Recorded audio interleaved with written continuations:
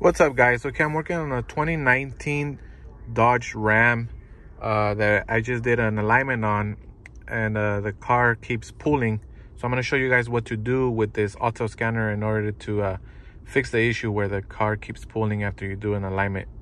Of course, you have to make sure that the alignment is correct and that the tires are, are good. So, okay, so once you're in alignment, I mean, once you're in the Autel scanner, you're going to go to diagnosis. You go to control uh, control unit chassis electric power steering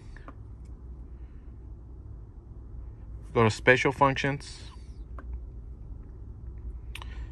and then you're going to go to the clear clear steering pull compensation uh, I'm gonna read what it says right here. It says this procedure is used to clear the steering pull compensation upon electric power steering replacement or whenever a vehicle alignment is performed. So you have to make sure that the wheels are pointed straight ahead with wheels centered using the alignment equipment.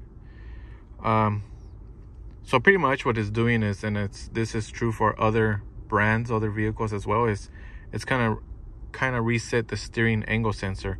Since this is an electric power steering, uh, then the it needs to know where the center is in order for it not to try and compensate for the pull and it's gonna pull this you have to do this pretty much in every modern vehicle now. Every time you do an alignment you have to either reset the steering angle sensor or in this case they call it clear steering pull compensation. Okay so once you're here you go to okay